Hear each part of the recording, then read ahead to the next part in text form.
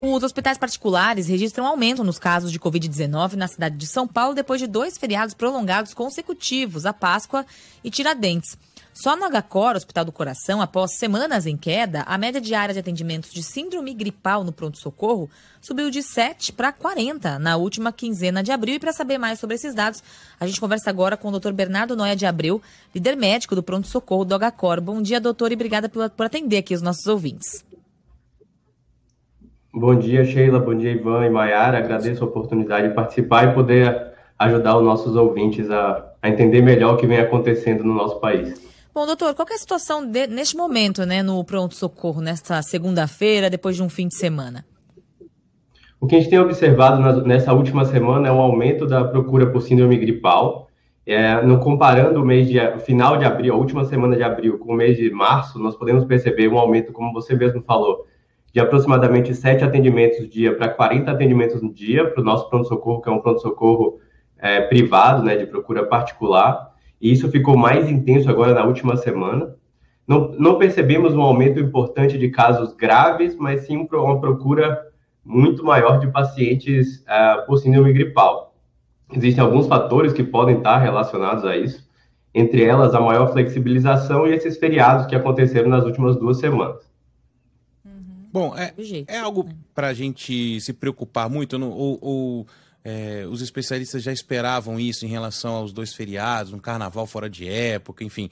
É, o senhor falou que os casos não aparentam é, ser tão graves. E aí eu aproveito para perguntar que perfil tem também é, esses, essas pessoas que têm procurado, né? Porque ao longo da pandemia eu acho que a gente foi traçando esses perfis, né? Primeiro eram os mais idosos, e aí a, a, a, a faixa etária das pessoas que, que iam se internando em pontos mais agudos da pandemia foi diminuindo, depois as crianças é, que ainda não tinham sido vacinadas, né, foram as últimas ali a terem a autorização para aplicação da vacina. Há uma mudança também nesse, nesse perfil, doutor? Como a gente tem percebido, o, o, perfil de procura ele é, ele é variado, né? Então a gente tem pessoas de todas as idades procurando. Houve aumento tanto na, na faixa etária mais de criança, como na faixa etária de média idade, como pessoas de, maior, de, de mais idosas. É, deve ter uma correlação também com, esses, com essa maior flexibilização, com os feriados das últimas semanas, a volta dos eventos presenciais, mas também temos que lembrar que esta é uma época de sazonalidade das epidemias virais, né? Um momento onde você tem uma grande variabilidade na temperatura, né, durante o dia. Então tem dias que você tem começa o dia abaixo de 20 graus e termina o dia próximo a 30 graus. Essa essa grande variabilidade na temperatura também favorece a, a disseminação e o surgimento de, de epidemias virais.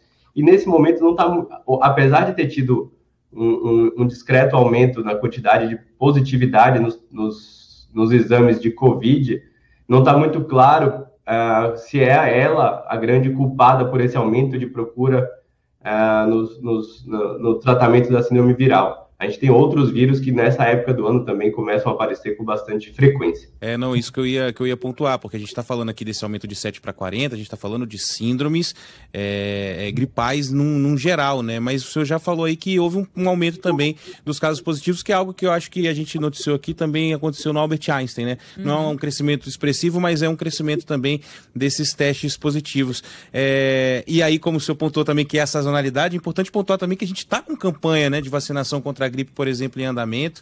É, aliás, pessoas que já podem tomar a quarta dose, né, que na verdade é a segunda dose de reforço uhum. da Covid, podem procurar também os postos de saúde. Isso é importante no momento como esse, né, doutor?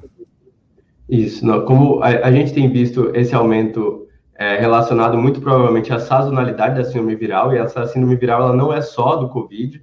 A gente percebeu um aumento aqui no nosso serviço de aproximadamente 10% de positividade dos testes escolhidos para COVID em março para algo próximo a 25, entre 25% e 30% de positividade nos testes para COVID agora, no, no, final de abril.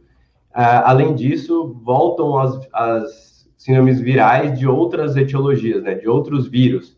Então, os vírus comuns em criança, vírus mais comuns nesta época do ano, que é uma época de, de variação de temperatura que faz com que as pessoas tenham mais quadros virais e transmitam mais esses quadros virais também. Bom, a vacina ela é muito importante nesse momento, tanto na a, o reforço da vacina do, do Covid para reduzir a gravidade dos casos do Covid, não só diminuir a quantidade de casos, mas a gravidade, ou seja, a gente percebe hoje que muito menos pacientes internam por essa etiologia, comparado a outras épocas onde não tínhamos a vacina. Como também é importante lembrar do calendário vacinal para as crianças de todas as vacinas e neste momento mais específico da vacina para gripe, é, para que a, a, tomada da vacina também reduza um pouco os casos que, de transmissão, mas também e reduzam em especial a gravidade dos casos dos pacientes que adquirem esses síndromes virais. Muito bem, a gente conversou aqui na Band News FM com o líder médico do pronto-socorro do Aguacor, o Hospital do Coração, Bernardo Noia de Abreu, sobre esses casos, né? Aumento de casos tanto de Covid quanto de atendimento de síndrome gripal no pronto-socorro, depois das festas, né, desse feriado, e é claro, nessa época aí de tempo mais seco, chove menos, como ele mesmo explicou. Doutor, muito obrigada aqui pela atenção com os nossos ouvintes. Eu que agradeço a oportunidade. Obrigada.